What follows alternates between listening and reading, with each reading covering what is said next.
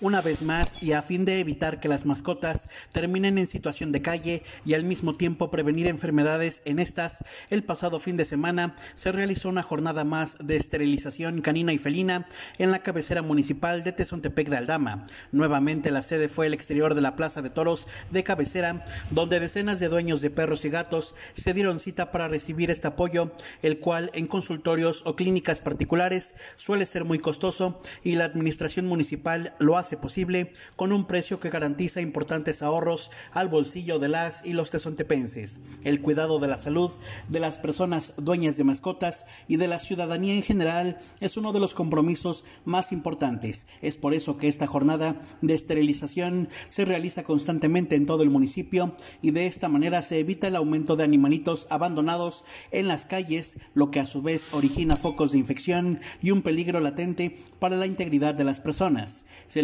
invita a estar pendientes de las próximas fechas y comunidades donde se llevará a cabo la campaña de esterilizaciones en Tezontepec de Aldama. Oscar Recendis para Mezquital al Día.